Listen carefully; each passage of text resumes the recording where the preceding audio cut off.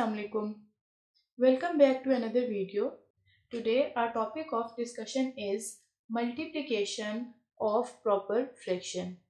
There are no specific rules for the multiplication of proper fraction. Just make sure to multiply all numerators first and then multiply all denominators later. Whether you have two fractions, three fractions, four, five, rule will remain same. Multiply all numerators first and then multiply all denominators later. And there is no necessity of common denominator in the multiplication of fractions, unlike in addition and subtraction.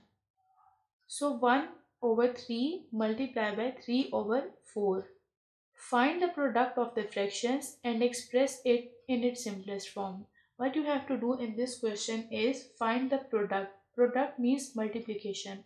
First multiply the fraction and express its answer in simplest form.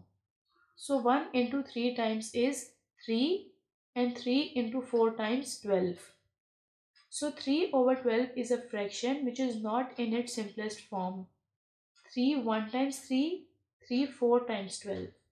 While you are simplifying a fraction, make sure both numerator and denominator should be the multiple of same table.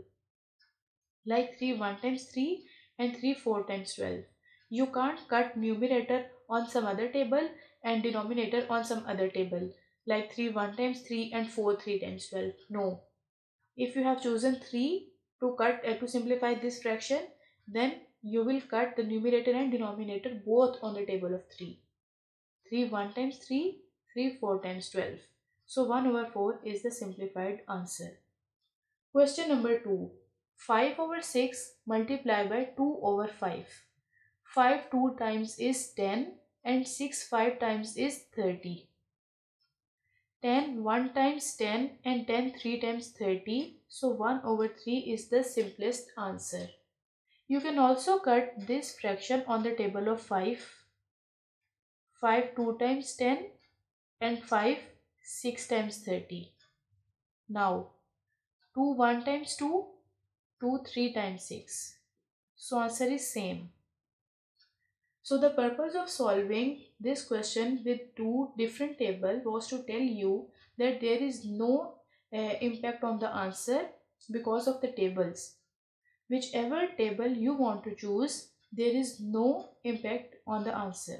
Answer will remain same. Like when you cut uh, the fraction on the table of 10 answer was 1 over 3 and when you choose to simplify the fraction on the table of 5 answer is also 1 over 3 so there is no impact uh, of table. Just make sure to cut numerator and denominator on same table.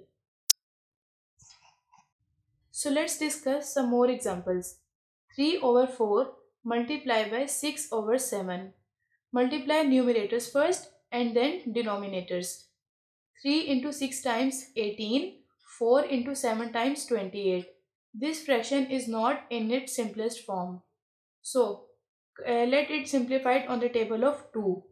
2 9 times 18 and 2 14 times 28. So, 9 over 14 is the simplest fraction for this multiplication. 3 over 8 multiplied by 2 over 5. 3 2 times 6 8 5 times 40. This fraction is not simplified. So 6 over 40. Let uh, it simplify also on the table of 2. So 2 3 times 6, 2 20 times 40. So 3 over 20 is the simplest fraction for this multiplication. So this is all for today's lecture. Thank you.